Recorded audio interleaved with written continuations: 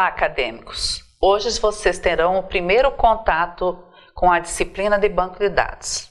Apresentaremos os conceitos importantes que servirão de base para o restante do curso. Então vamos lá.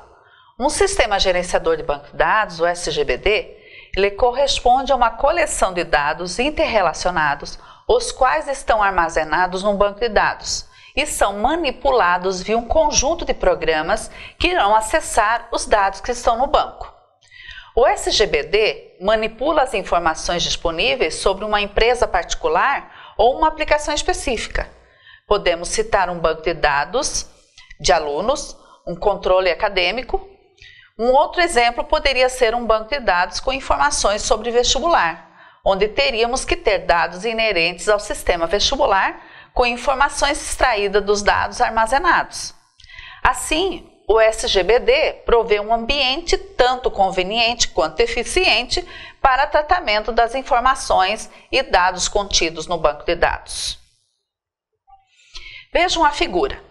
Nessa figura temos o projetista do banco de dados que observa o mundo real, obtendo informações de forma informal, organiza essas ideias, então cria um mini mundo com os dados que são relevantes para a aplicação que deseja projetar. Que dados é necessário armazenar visando a informação a ser extraída?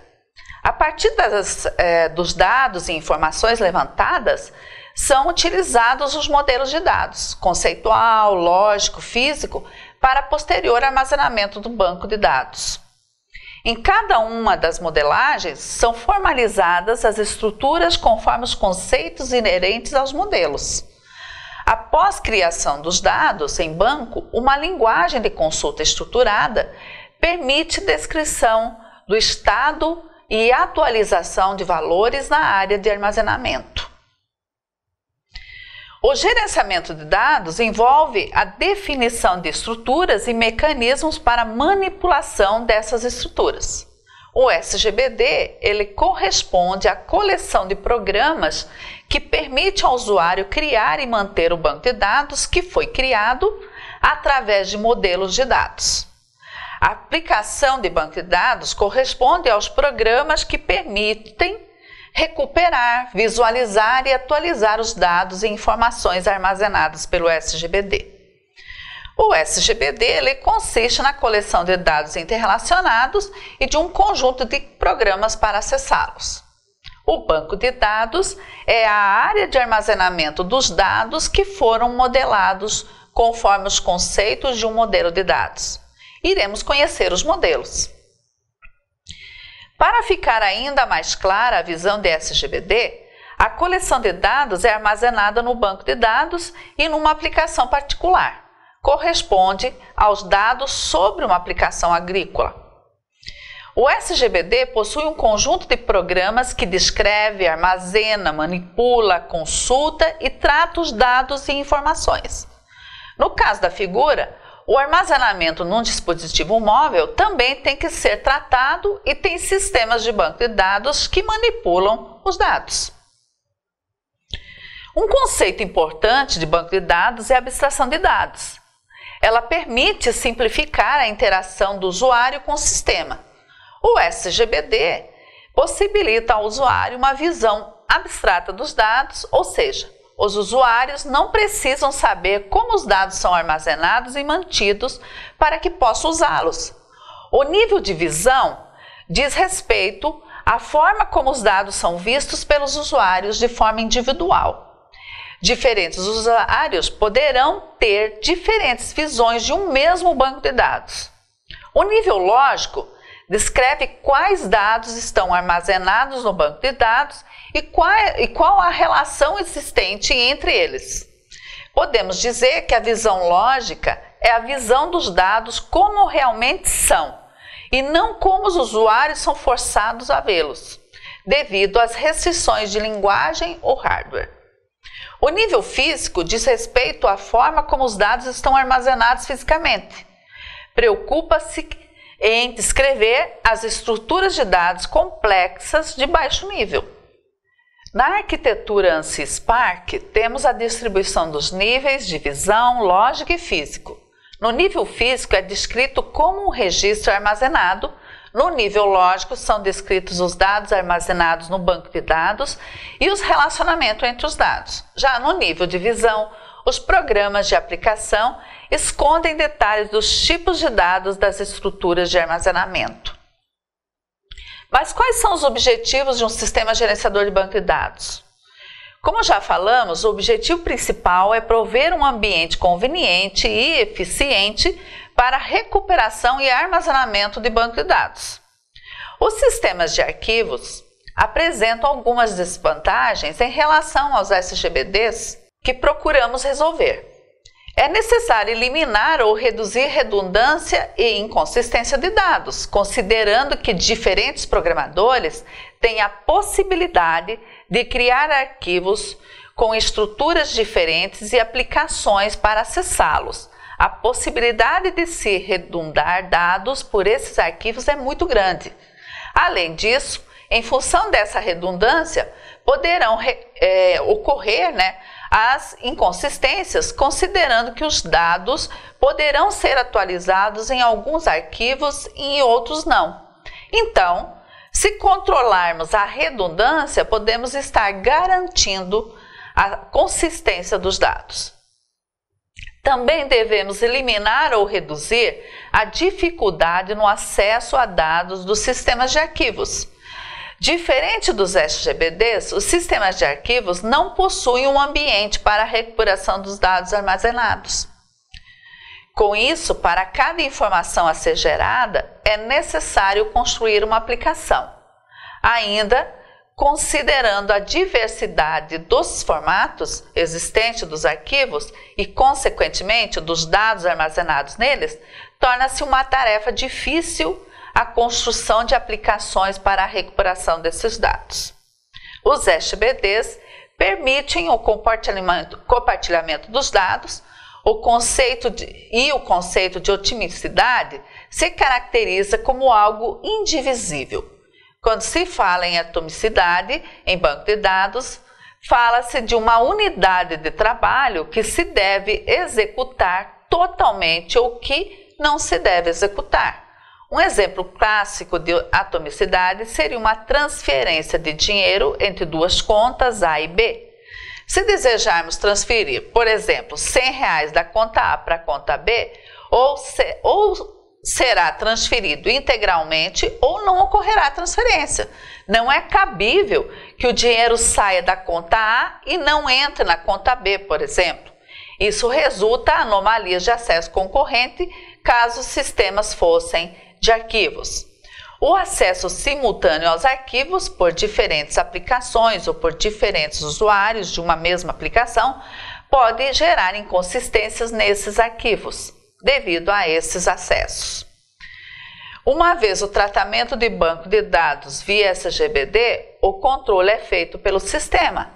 No caso de segurança dos dados, nem todos os usuários possuem perfil para acessar a todos os dados disponíveis em um arquivo. Tomemos como exemplo um arquivo de funcionários, que possui, entre outros dados, o valor do salário do funcionário.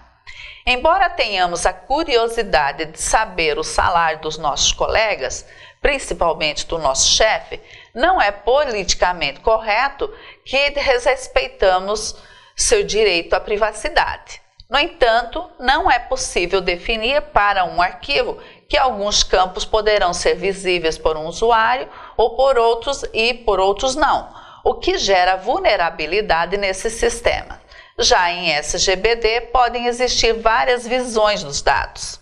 De qualquer forma, em SGBD podem ser fornecidos backup e recuperação dos dados para o, tornar o banco de dados consistente. A integridade dos dados é garantida pelo SGBD, o que não ocorre em sistemas de arquivos. Por exemplo, tomemos dois arquivos, um de sócios e outro de dependentes de uma locadora de vídeo. Um dependente está relacionado a um sócio e, por consequência, a existência daquele depende da existência deste, ao qual estará subordinado. Desse modo, a exclusão de um sócio acarreta a exclusão de seus dependentes. Esse tipo de integridade denomina-se de integridade referencial, garantidas pelo SGBD. As funções desempenhadas por um SGBD envolvem integridade de dados, recuperação de informações, concorrência dos dados e segurança de informação. Existem alguns conceitos inerentes ao gerenciamento de banco de dados.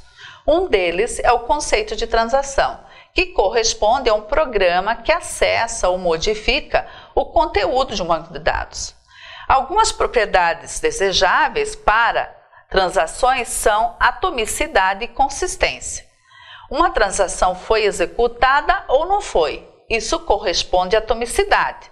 Já a consistência envolve a execução de uma transação resultar em um banco de dados em estado é, consistente.